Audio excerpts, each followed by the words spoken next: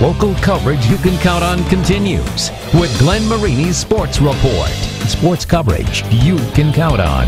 Well, it's certainly not often that we honor a middle school squad as Team of the Week. Norwell Middle School, they could be the exception that proves the rule because all four of their teams, we're talking 7th and 8th grade, boys and girls, all those teams made it to their conference championship games. We're proud to honor the Norwell Middle School basketball program as your Optimum Performance Sports Team of the Week. Hi, I'm Ron Howard with Optimum Performance Sports. OPS is proud to honor the athletes and coaches of this week's Team of the Week. Congratulations and best of luck the rest of the season. Well, we don't do this often, but we're down at Norwell Middle School. All four teams, 7th and 8th grade, boys and girls, they made it all the way to the conference champions. And as you can see, we got a lot of players here behind me. So I'm going to interview one player from each team, joined now by Cohen. What was it like to clinch the conference championship for that Crusaders team? Fun. what did it take in that conference championship?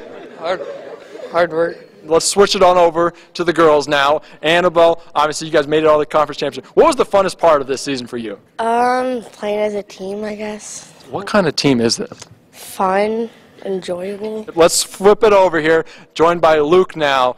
Uh, obviously, eighth grade, you're going into the high school next year. So, what's it about this team? How much chemistry does this team have? Um, we're we're really good, and we got a lot of potential, and we have a lot of, and we and we're really together as a team. Right, my man. Let's move on over. Jumping over to Addie. Same question for you. What you guys are going on to high school soon. What's going to be like there, and what kind of impact do you want to make on the high school level? I think it's going to be challenging, but I think if we just continue to work together as a team, we'll get there. With all seventh and eighth grade girls and boys, well, we're going to get everybody involved. We're going to play a little bit of knockout. So here we go. I'm going to lead them off. All right, good luck trying to knock me out. Here we go. Free throw line. Here you go. Oh, flush.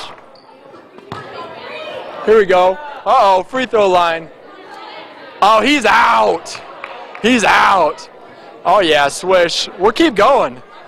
It's going to be a long game. That's okay, though. In Uggs. In Uggs and all. Oh, she gets the roll. She gets the roll in Uggs. Going to be a long game. I don't know Team of the Week is long enough for this game. But we're just going to keep going until somebody's the winner. Oh, Brayson! Gone. He gone. Oh, we're down to like the final 10. Oh, gone. He's gone. Eliminated. Here we go. Final three. Clutch free throws. Oh, she's shooting it well. That's solid. Oh, another make. Another make. Uh-oh, off rim. Oh, down to the final two. Oh, man. Oh, man, the final two. The final two. Yes. Woo! Woo! Yes, sir.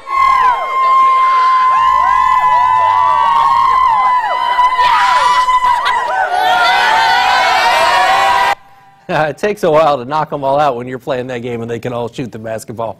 Hey, that'll do it for sports. I'm Glenn Marini, and we're back in two minutes.